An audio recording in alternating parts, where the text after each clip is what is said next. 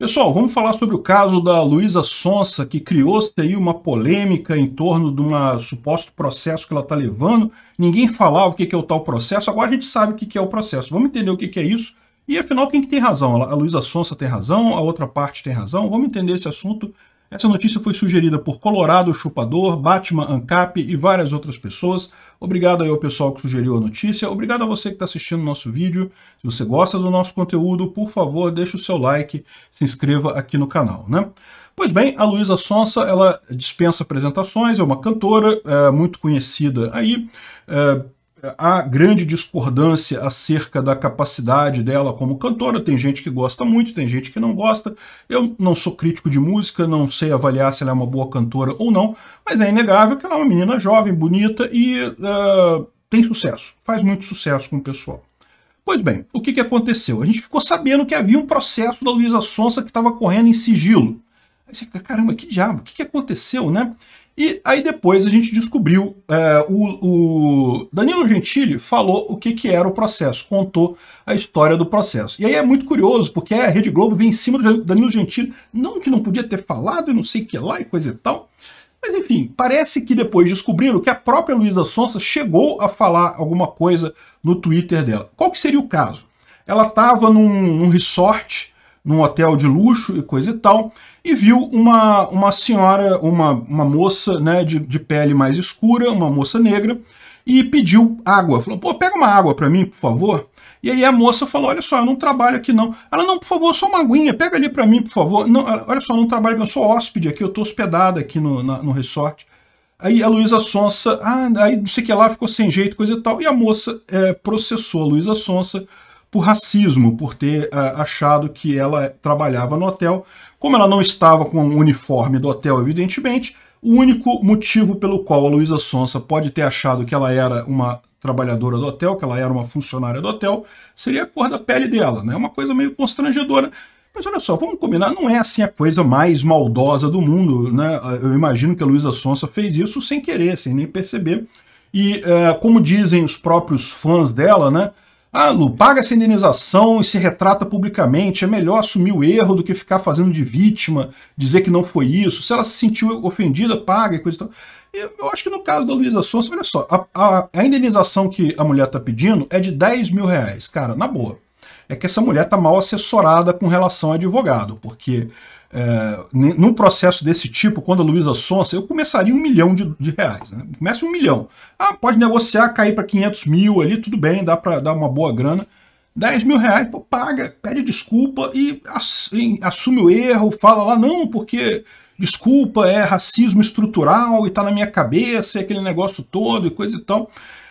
Ah, pode acontecer esse tipo de coisa. Eu já fui confundido com vendedor de loja, porque eu estava parado lá esperando minha esposa fazer alguma coisa, parado no meio da loja, alguém achou que eu era o vendedor da loja. É direito das pessoas se enganar, ninguém é obrigado a saber tudo, não. É, esse tipo de coisa você pede desculpa, ah, não, não sou, não sou não, tá, beleza, coisa e tal.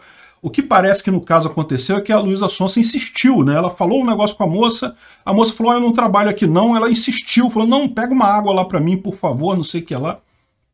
Enfim, não sei como é que é o caso, né? De qualquer forma, foi um mal entendido, não foi nada demais, não me parece que tenha sido algo, um, um racismo exacerbado dela e coisa e tal. Mas aí entra esse fator até que é, é uma, uma novidade dos nossos tempos atuais, que é esse efeito de você justamente tentar esconder a coisa acaba dando mais publicidade do que se a coisa fosse exposta imediatamente. A Luísa Sonsa fez questão de, de sigilo em tudo. Pediu sigilo na coisa toda, guardou tudo, a Rede Globo entrou.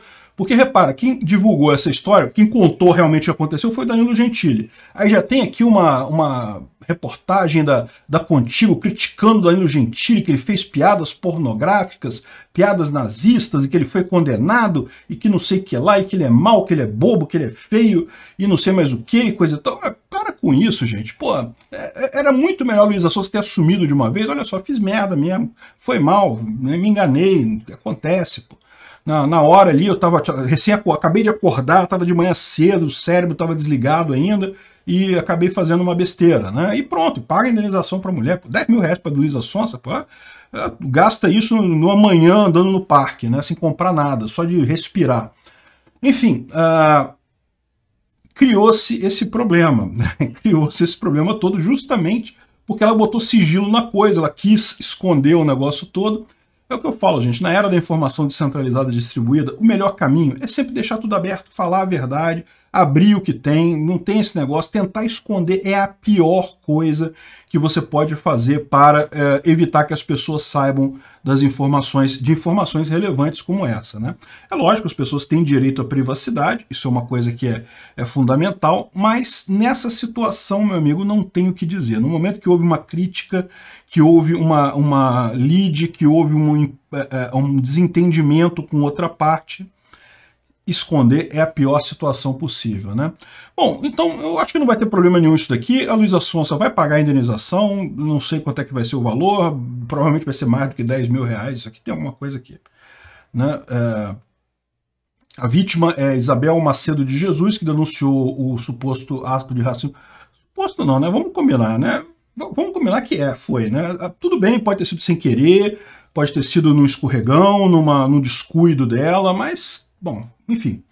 E uh, no final das contas, ah, o processo vinha se arrastando. Hum, isso daqui é uma coisa mais perigosa ainda. Eu, se fosse a Luísa Sonsa, se fosse os advogados dela, ia querer fazer o acordo o mais rápido possível, encerrar essa coisa o mais rápido possível. É. Enfim, isso é o que aconteceu. E eu, o curioso é isso, o pessoal está criticando aqui, está brigando com o Danilo Gentili porque ele contou o caso, né? Enfim vai entender, né? É, é, realmente, a, a, mídia tradicional, esses, esses grandes artistas, esse pessoal ligado à esquerda, esse pessoal todo tem problema com a informação descentralizada e distribuída. Eles não entenderam ainda como é que funciona isso. Eles acham que eles podem... Se um caso desse acontecesse, sei lá, anos 1990, 1980, eles conseguiam esconder, se eles quisessem, né? Se eles quisessem sacanear a Luísa Sonsa, abriam imediatamente. Mas se eles quisessem esconder, eles escondiam. Olha só que coisa, né? Obrigado por assistir o vídeo até o final. Além de curtir, compartilhar e se inscrever no canal, considere se tornar patrocinador com valores a partir de R$ 1,99. Clique no botão Seja Membro abaixo para saber as condições e vantagens de patrocinar o canal. Mais informações sobre o nosso projeto, visite nossos sites indicados na tela.